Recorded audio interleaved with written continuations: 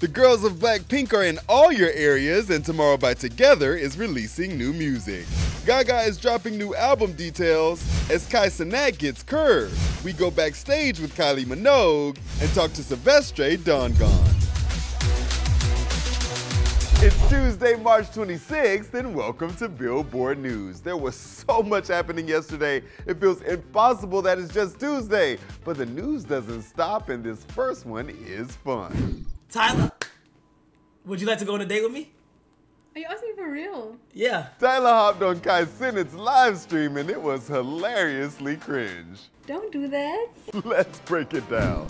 Study my face, frame, put me on the wall. We all know Tyla is a work of art. I'll be your peace. And when she appeared on Kai Cenat's live stream, Kai tried to shoot his shot. Whenever you get some free time, would you like to go on a date with me? You can't do that. On a whole live thing. Is anybody else uncomfortable? Yeah. Friend zone incoming. But we friends though. You right. Yeah, we friends. You right. Ooh, that you right. That gotta hurt.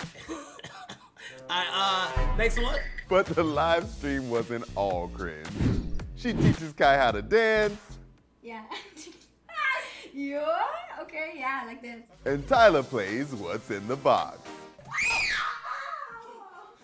Why is it hairy? Did you get secondhand embarrassment for Kai? Let us know in the comments. And for all things Tyla, head to Billboard.com. I can talk about Lisa from Blackpink forever, but I can do that about almost anybody in the genre. Here's three things to know in K-pop news. When a bond is there, It brings us closer. Jisoo is slaying in a brand new Cartier ad, and she's joined by other pop royalty. Jackson Wang also brings his amazing style. Other stars in the luxury ad include Yara Shahidi and Paul Mescal. Holy hotness. Meanwhile, all this did was get me instantly thirsty for a collab. Jisoo Jackson, get it together. And her Blackpink sister Lisa is living her best life. The rap queen was spotted in several viral images at the 2026 FIFA World Cup qualifier. She even held up a sign representing the Thailand versus Korea match. And this just made me think about Jungkook playing the World Cup and uh, Blackpink, get to work.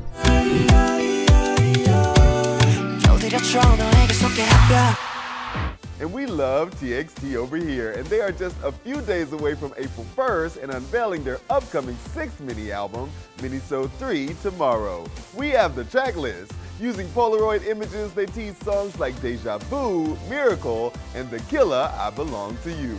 The Killer? Y'all about to kill me. I can't wait for this project.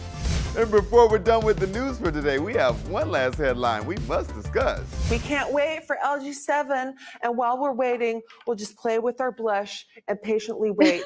Lady Gaga gave an update on her next album. Here's what fans can expect. I'm I'm working as fast as I can. Lady Gaga let NikkieTutorials know on Sephora Live that LG7 is on the way. I will say that I'm feeling deeply inspired right now and I'm Good. so excited for everything that I have to show all the fans. Gaga's been sharing pics and videos of herself in studio on her IG, so we've known new music is on the way.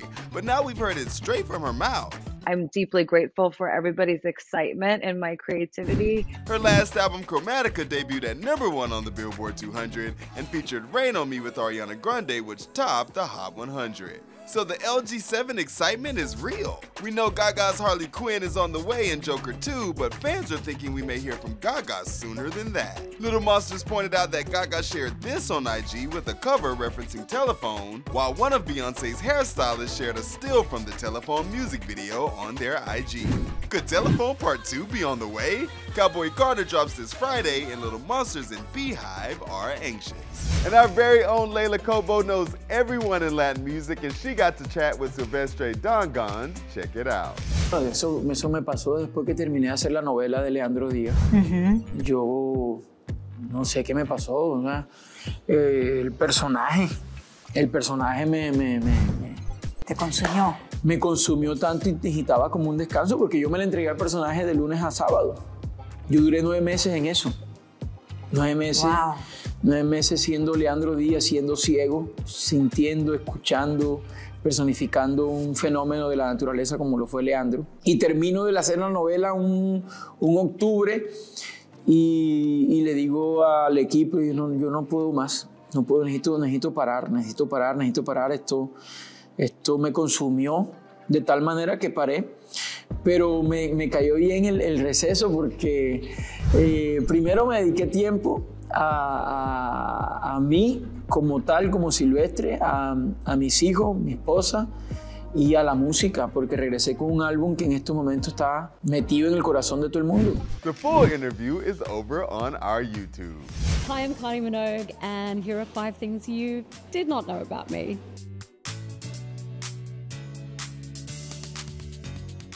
Thinking now, okay, one, I recorded Padam Padam in my hotel room. Two, Love at First Sight was first dismissed and ended up being a really big song of mine. Uh, not by me, by, by my label. My first single, Locomotion, was recorded as a demo. I didn't have a, I wasn't signed to anyone. So if that hadn't gone to, to become a, a release, I would not be here chatting with you today. Fourth thing you don't know about me, I can't wait to get my heels off. you may have guessed that. Fifth thing, uh, coffee is one of my favorite things. And those are five things you didn't know about me. And I didn't intend to tell anyone. No, that's all right. I could share them. Always love those backstage moments from women in music. Come back tomorrow for my hilarious interview with that Mexican OT.